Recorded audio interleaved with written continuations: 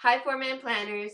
So I wanted to do the follow-up, part two, talking about guilt and um, how to handle it when you're dating multiple men, when you're doing anything really. So in the previous video, I said that most of the time, a lot of the time, when we're feeling guilty, it usually means that we're agreeing with some rhetoric that we heard earlier in life.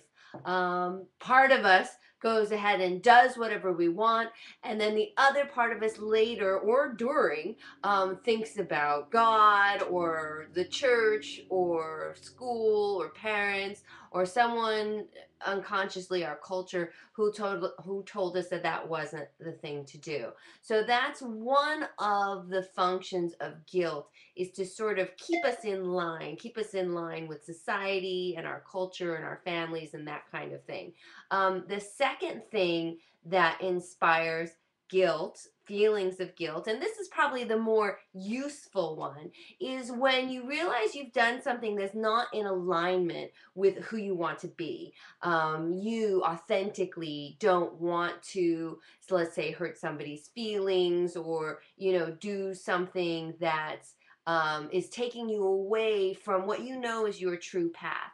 So in that instance, what I always suggest is something that I learned horseback riding. I just came in from my ride actually, and I'm trying to get the lighting right because I don't normally do this these at night, but I, I was inspired. I was horseback riding, and I remember my very first teacher um, telling me while I was out of control on this horse and it was taking off with me and having its way with me and I kept trying to figure out what I had done wrong to set him off that way and now why was he doing this and why was he doing that? And every time I was thinking one step behind where I actually was in the moment in the moment I was a little out of control and so I was thinking what did I do to make that happen but Cody Cody, my instructor, a cowboy, he said to me, listen, the only way to ride is to correct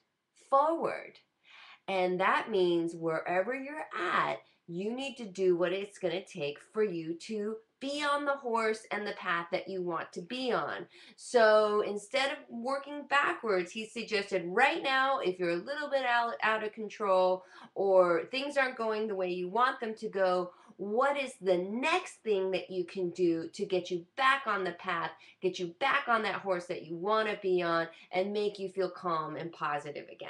So that's what I suggest. Rather than feel guilty, if you realize that you've done something that isn't really in your best interest, isn't on your path, isn't honest, loving, and willing, which I encourage all women to be. You know, you find yourself awake, passed out in some dude's place, and I, oh my god, I think I had sex with him, I don't know what happened.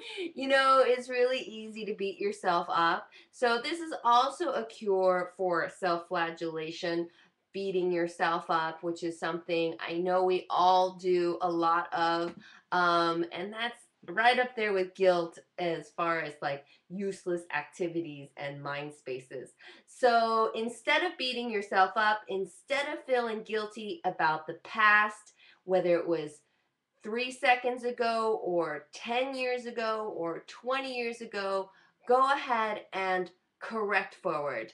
And if you feel yourself locked into a mindset that was trained into you by someone a long time ago, then go ahead and try to correct forward from that as well. We all have choices to make and um, you know, we might all be crazy. So if you're gonna be crazy, why not pick crazy happy, crazy good time, crazy I don't hurt anybody, crazy I'm honest, loving, and willing, crazy I date a few guys at once, so what? Okay? um, all right, so I will see you again soon, and correct forward if you ain't having a great time. All right, talk to you soon. Bye.